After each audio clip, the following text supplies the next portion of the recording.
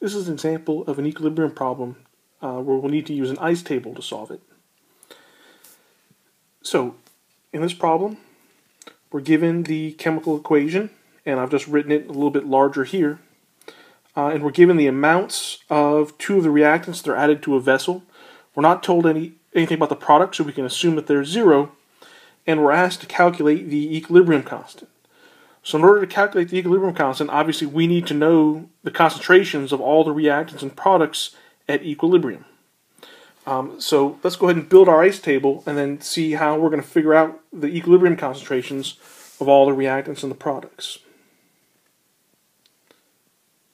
So I need the, the initial, the change, and the equilibrium concentrations.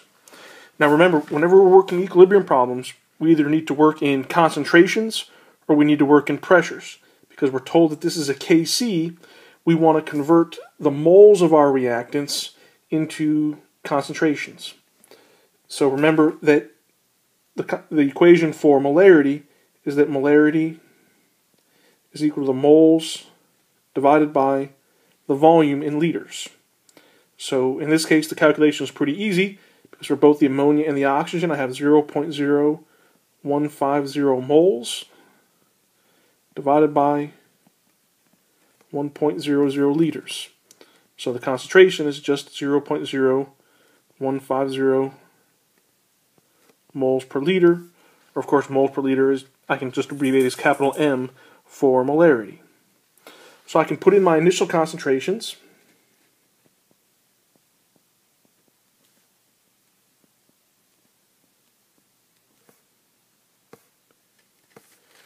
And I know the equilibrium concentration for the N2 because that's given in the statement of the problem. So I know that that is 1.96 times 10 to the minus 3.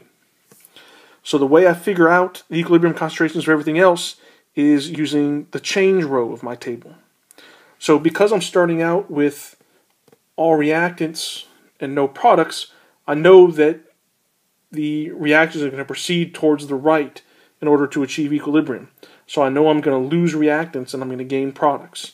So when I fill out my change table, I'm going to make the reactants negative. And remember that the 4 and the 3 come from the stoichiometric coefficients. So whatever sign I give to the change of the reactants, I have to give the opposite sign to the change in the products. So that means the nitrogen is going to be plus 2x, and the water is going to be plus 6x. And at equilibrium, the ammonia is going to be 0.0150 minus 4x, and the oxygen is going to be 0. Point, sorry, shouldn't have a negative there. It's going to be 0.0150 minus 3x. And the water is going to be 0 plus 6x, so it's just going to be 6x.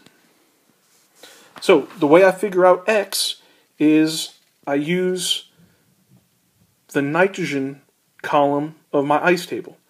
So it's true for all of the reactants and products that the initial plus the change is equal to the equilibrium. So, in the case of the nitrogen, I know that 0, uh, I know that 0 plus 2x is equal to 1.96 times 10 to the minus 3. So that means that 2x is equal to 1.96 times 10 to the minus 3.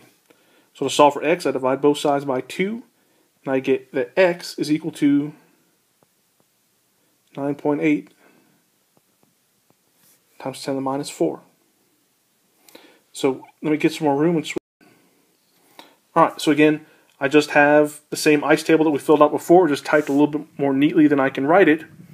So the fact that I have determined x will allow me to determine the equilibrium concentration of the reactants and products that I did not know. So in the case of ammonia, the equilibrium concentration is 0.0150 minus 4 times x, which is 9.8 times 10 to the minus 4. So that means the equilibrium concentration of ammonia is 0.0111 molar. I can do the same thing for oxygen. And so that's 0.0150 minus 3 times 9.8 times 10 to the minus 4. So the concentration of O2 is 0.0121 molar. And then for the water, the equilibrium concentration is just 6 times x, so 6 times 9.8 times 10 to the minus 4. And the equilibrium concentration of water is 5.88 times 10 to the minus 3 molar. Okay, so now that I have all my equilibrium concentrations, I can just plug these into the equilibrium constant expression, and that will give me K. So let me go again to the next. So my equation for the equilibrium constant is Kc is equal to the concentration of the products raised to their stoichiometric coefficients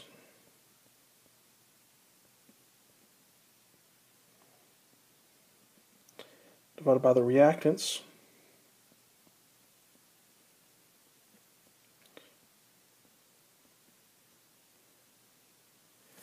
to their stoichiometric coefficients. So I just need to plug in the equilibrium concentrations I calculated on the previous slide